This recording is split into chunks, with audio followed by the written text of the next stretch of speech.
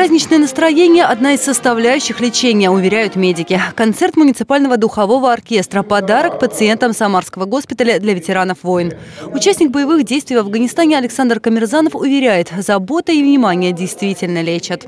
Успокаивающая, расслабляющая обстановка, которая дает возможность забыть хоть на время пусть на короткое, недугах, там, не, не палатках каких-то. Новый год Александр встретит дома. Лечится он в дневном стационаре. При поддержке областного бюджета и попечительского совета госпиталя терапевтическое отделение на 20 мест полностью отремонтировали в начале года. Выделили на капитальный ремонт 20-коечное дневное отделение. И сегодня у нас 20 ежегодно, ежедневно 20 больных, многие из вас здесь присутствуют, приезжает утром лечиться, так же, как и круглосуточно.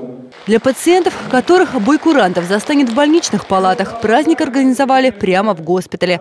Поздравить ветеранов приехал и член попечительского совета, глава Самары Олег Фурсов. Разговор зашел об изменениях, которых в этом году в городе было немало.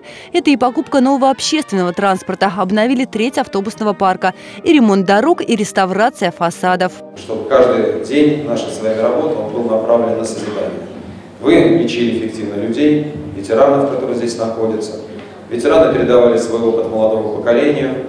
Люди, работающие на предприятиях, создавали наше общественное благо, чтобы мы вернули себе славу второй столицы России, каким наш город был еще совсем недавно, когда мы были индустриально развитым, научным, студенческим центром. Благодарственные письма и грамоты получили лучшие врачи и медсестры госпиталя. Их профессионализм, забота и внимание ставят пациентов на ноги едва ли не эффективнее, чем лекарства.